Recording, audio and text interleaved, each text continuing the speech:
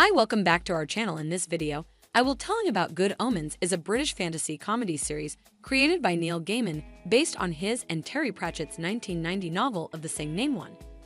It follows the angel Aziraphale and the demon Crowley, who have lived on Earth since its creation and have formed an unlikely friendship over the millennia too. They are both representatives of heaven and hell, but they have grown fond of humanity and enjoy the pleasures of life on Earth. They also have a mutual agreement to not interfere with each other's work, as they believe that the balance between good and evil is necessary for the world to function three. However, this does not stop Crowley from trying to tempt Aziraphale into doing things that are against his angelic nature or his orders from heaven. Crowley is a cunning and charismatic demon who enjoys causing mischief and chaos, but he also has a soft spot for Aziraphale and respects him as a friend.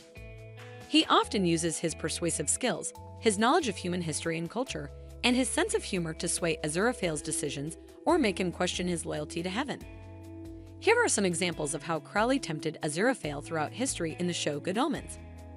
In the Garden of Eden, Crowley, then Crawley, was the serpent who tempted Eve to eat the forbidden fruit. He also gave his flaming sword to Aziraphale, who was guarding the gates of Eden, so that he could give it to Adam and Eve to protect themselves from the cold.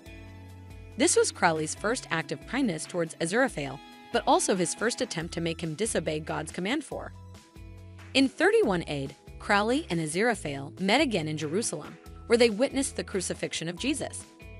Crowley tried to convince Aziraphale that Jesus was not the Son of God, but just a nice man with some good ideas. He also suggested that they should intervene and save him from his fate. But Aziraphale refused, saying that it was part of God's Plan 5.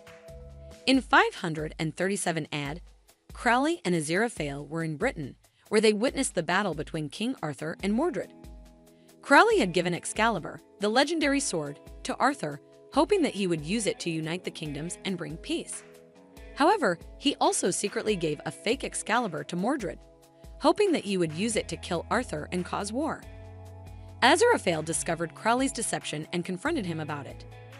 Crowley admitted that he was bored and wanted to see what would happen if he played both sides.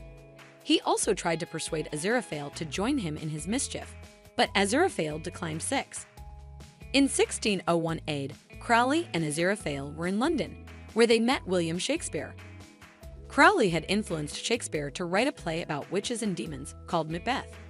He invited Aziraphale to watch the play with him, saying that it was a masterpiece of literature and drama.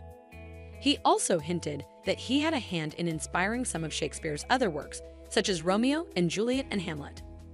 Aziraphale agreed to watch the play with him, but he was not impressed by it. He criticized it for being too dark and violent and for portraying witches and demons in a positive light 7. In 1793 AD, Crowley and Aziraphale were in Paris, where they witnessed the French Revolution. Crowley had been involved in stirring up the rebellion against the monarchy and the aristocracy hoping to create a new order based on liberty, equality, and fraternity. He also enjoyed watching the executions by guillotine, saying that they were entertaining and educational. He invited Aziraphale to join him in his fun, but Aziraphale refused, saying that he was appalled by the bloodshed and the cruelty. He also tried to save some of the innocent victims from being killed, such as Marie Antoinette VIII. These are just some of the many examples of how Crowley tempted Aziraphale throughout history in Good Omens. As you can see, Crowley always had a hidden agenda behind his actions, whether it was to cause trouble, to test Aziraphale's faith, or to express his affection for him. However, despite their differences and conflicts, Crowley and Aziraphale always remained friends and allies against the forces that wanted to bring about the end of the world. If you enjoyed this video, please like, share, comment, and subscribe for more content like this. And don't forget to check out the show Good Omens on Amazon Prime Video 9 or BBC 210. Thank you for watching and have a good day. Thanks for watching. Please like, share, and give feedback.